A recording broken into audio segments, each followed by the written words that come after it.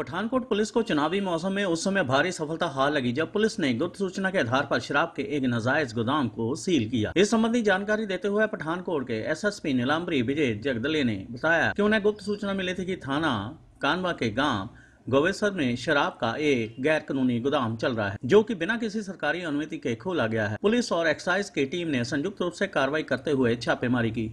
सारे मामले की गहराई से जाँच करने के बाद पाया गया कि यहाँ पर गैर कानूनी ढंग से स्टॉक जमा किया गया था। इस पर कार्रवाई करते हुए पुलिस की ओर से थाना कानवा में मामला दर्ज किया गया है। पठानकोट से संजय सैनी। स्टेशन कानवा के एरिया में गोबिंदसर पिंड पड़ता है। वहाँ पे हमें इंफॉर्मेशन मिली थी कि शराब जो है वो एक नजायज़ गोडाउन में स्टोर करके रखी हुई है, जिस चीज़ की जहाँ पे स्टोर करने की परमिशन नहीं है। तो इसके बाद हमारी पुलिस की टीम जो है, उन्होंने एक्साइज डिपार्टमेंट को भी सूचित किया और उनकी भी टीम मौके पे पहुँची और इसको एक जॉइंट रूप में टीम्स बना के बहुत डूंघाई से इसकी जाँच पड़ताल की गई।